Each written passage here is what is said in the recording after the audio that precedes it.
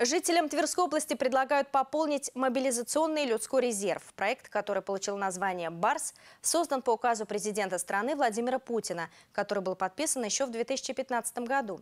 Сейчас программу было решено оживить. На что она направлена и как стать ее участником, об этом в сюжете Никиты Васильева.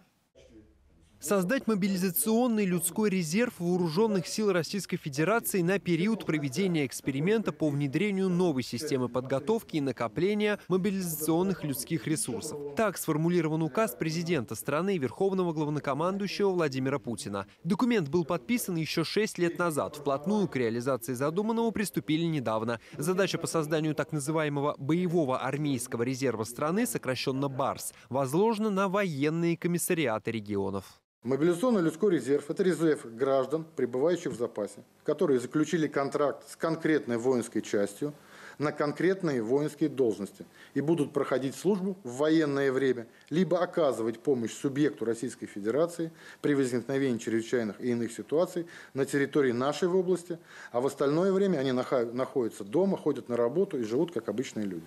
Все, что будет отличать гражданина, находящегося в мобилизационном людском резерве, обязанность перед Министерством обороны являться в течение суток после получения повестки в часть, которой он будет приписан. Проект «Барс» подразумевает проведение с теми, кто заключил соответствующий контракт военных сборов, трехдневных раз в месяц и месячных раз в год. Как отмечают в военном комиссариате Тверской области, пребывание в мобилизационном людском резерве – это уникальная возможность реализовать свои амбиции, улучшить физическую форму и получить дополнительный заработок, как минимум 12% от должностного оклада.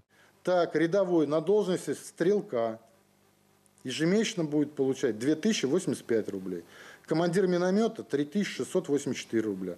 Командир роты 4849 рублей. Командир батальона свыше 5000.